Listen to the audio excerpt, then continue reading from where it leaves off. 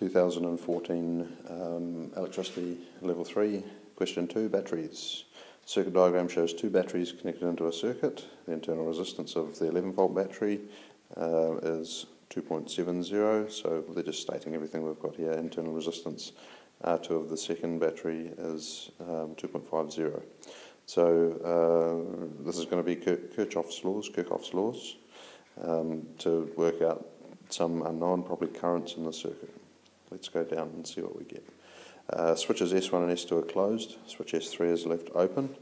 So um, we're, um, we're, we're, dealing with just this top portion uh, when S3 is open. Show that the current on the circuit is 0.331 amps.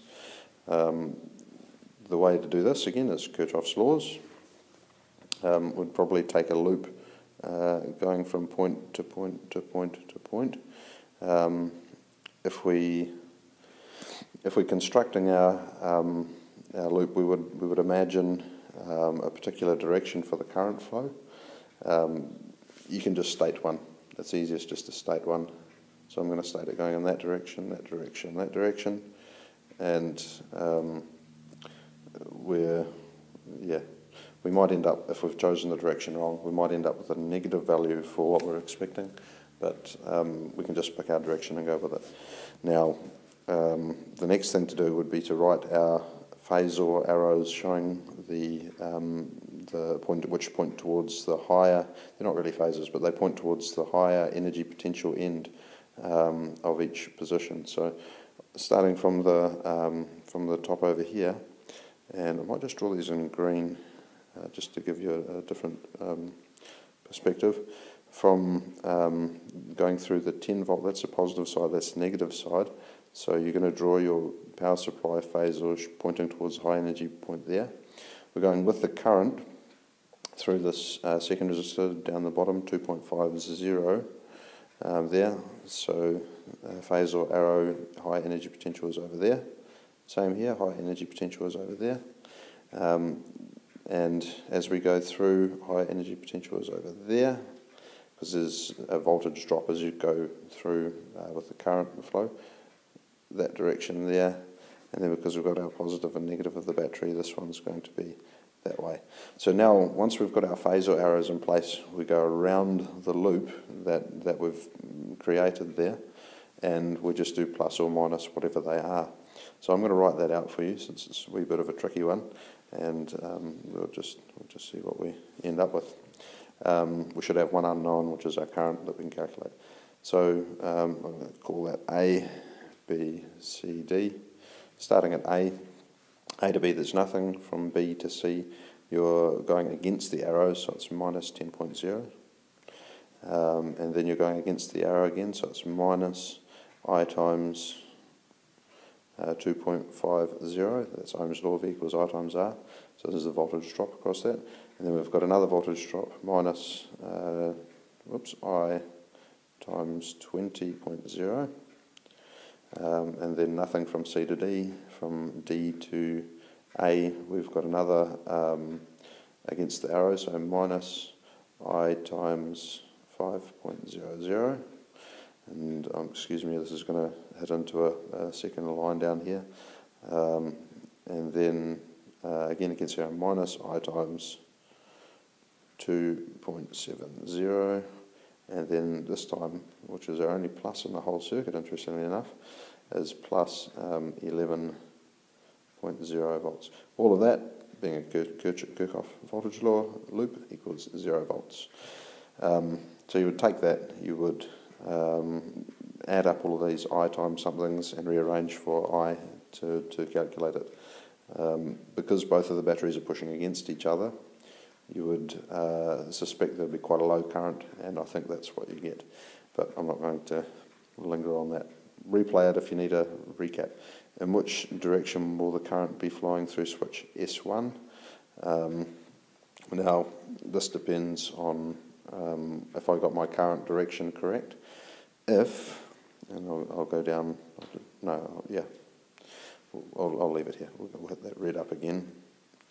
If um, if my current direction that I chose here is correct, that it would give us a positive value for the current calculated.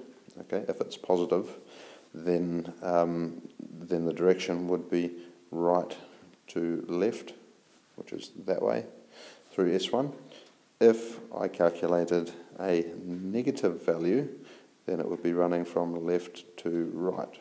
Maybe I should rewrite it, but anyway, you get the idea. So that's that's what they're trying to get at with, with question B. Question C, uh, switch S3 is now closed, so that all three switches are closed. Show using Kirchhoff's laws that the current through S3 is 1.87 amps. Um, so we're, we're going to need a loop around the outside, so I'll just really roughly sketch this for you. We're going to have to draw a loop all the way around the outside this time, and we can't assume, so we can't assume um, that the current is the same, so must do a new, new voltage loop with new I values. So we can't just take that current value that we had above, use a current equation because we've got a current going around here plus whatever's here. Okay, we can't do that. We have to we have to assume that it's a different current and do a new calculation. Uh, I'm going to cruise back up and see if I can sketch that for you. Um, Messier. Uh, what can we use? What colour? Let's go for purple. Purple looks like it'll stand out nicely. So um, this time all the switches are closed, but we want to do a loop from there to there to there to there. So nothing down there, nothing there, nothing there. But if we're still picking the current going the same direction through there, it's going to be um, 0 equals minus i times 5.00 uh, minus i times 2.70 plus, because you're going to 11.0. And you can rearrange that, find the new current and see if it matches up with what they've given you down there. Very messy now. Okay. D. Switch S1 is now open, leaving switches S2 and S3 closed. After the circuit has been operating for some time, the 10 volt battery starts to go flat. The student suspects this is caused by an increase in the internal resistance. Explain what. If, so most of that was uh, fluff, and you didn't really have a, a, a lot of need for that. We're talking about this internal resistance increase. Explain what effect a changing internal resistance has on the power delivered in the 20 ohm resistor. Just quickly refresh our memory, lots of back and forward, but where's the 20 ohm resistor? Um, there it is there. So um, we, uh, let's, let's go back down again. Um, the changing internal resistance, which was this internal resistance, what it'll have on the 20 ohm resistor. Um, a larger internal resistance means you're going to have a greater voltage drop across there. Um, and uh, less current uh, coming through that portion of the. Um, so with those two things combined, I mean the easiest way to look at it is you're going to have less of a voltage across that. But let's just cruise down, and make sure we're answering the question correctly. Um, and it's power. Okay, so power equals current times voltage.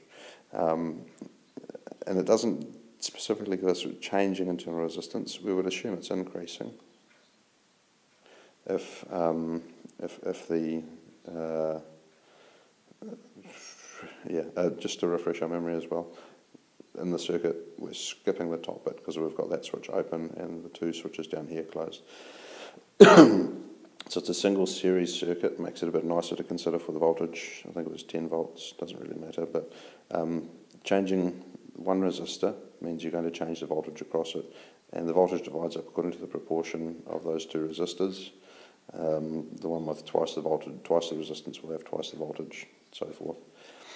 Um, so we, where are we? Uh, a full answer will include some sample calculations, so you can do do a calculation using the voltage of the supply um, and the um, the current, because the current is going to change. Just pick two random scenarios, maybe use R uh, for the internal resistance as it is, and then maybe double it, two times R internal. Then you show that with an increase, you're going to decrease the circuit current overall, um, and you're also going to um, decrease the voltage over the 20 ohm if it's increasing the internal resistance. That's going to have a double impact on your power equation, which is finally getting to the actual answer. If you're decreasing the current, decreasing the voltage, you're actually decreasing the power by a power of 2. That's, yeah, by a factor of 2 to the power of 2.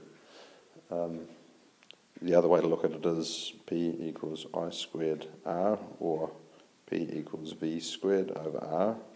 So there's that squared factor if you lower the current, and that incorporates a lowering of the voltage. But okay, you get the gist.